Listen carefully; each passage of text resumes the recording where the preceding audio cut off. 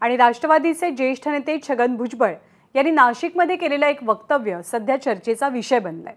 आपण सध्या ओबीसींसाठी लढतोय पण या लढ्यात फायद्यापेक्षा नुकसानच जास्त होतं आणि विकास बाजूला राहतो अशी टीका भुजबळ करतात तर ज्यांचं काहीच कर्तृत्व नाही ते जातीवार मतं मागतात असा टोलाही त्यांनी लगावलाय.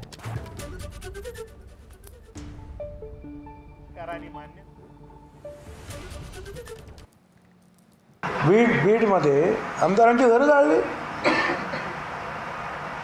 म्हणजे एक त्याच्यामध्ये होते मराठा समाजाचे. पण बाकी मोजून सगळे जे आहेत ओबीसीचे लोक होते. आमचे इथे सुभाषराव होते. त्याचं एक हॉटेल जाळून टाकलं. आणि परत बोलायला मोकळे म्हणजे भुजबळांनी जाळलं. काय निर्लज्जपणाचा कळस आहे भुजबळ कशाला जाळायला जायचं ते? आमच्याच माणसाचं. आमचाच काय रे? त्याचं हॉटेल जाळलं आम्ही आणि अशा वेळेला तुम्ही गप्प बसता. मग लढायचं तर किती लढायचं कुणासाठी लढायचं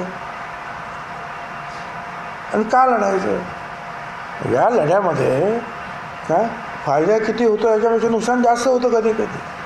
नाशकात सुद्धा झालेलं आहे. आपल्या सगळ्यांना माहिती आहे. जातीवरून मतदान मागितलं गेलं. जातीवरून मतदान टाळण्यात आलं. विकास किती केला ती गोष्ट बाजूला राहिली. एवढं प्रचंड काम होतं. प्रचंड हे ते कमीच सांगितलं मी देवळं मंदिरं अमुक तमुक रस्ते सगळं काय झालं होतं? पण जात निवडणुकीमध्ये सुद्धा जे आहे ह्या जातीला महत्त्व आहे. आणि अजूनही तेच आहे. ज्यांचं काहीच कर्तृत्व नसतं ते जातीवर मतं मागतात हे लक्षात ठेवा. एबीपी माझा. उघडा डोळे बघा नीट.